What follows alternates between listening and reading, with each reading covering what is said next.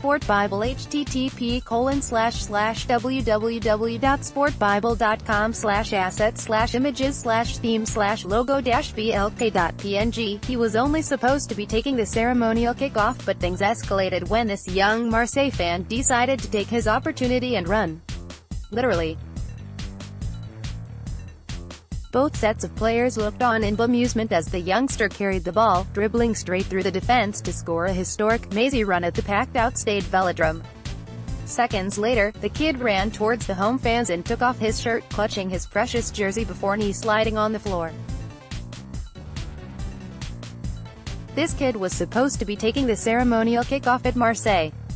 Instead he ran the length of the pitch banged one into the back of the net and then celebrated like this.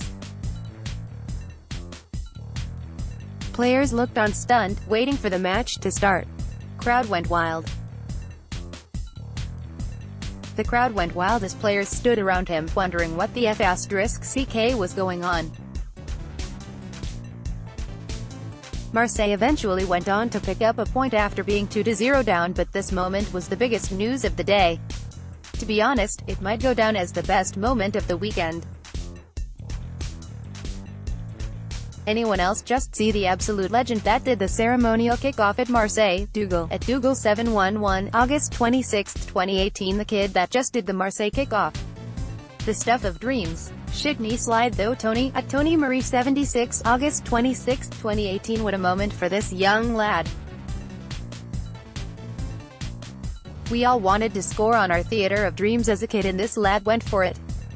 Fair play. Jack Kenmare is a writer at Sport Bible.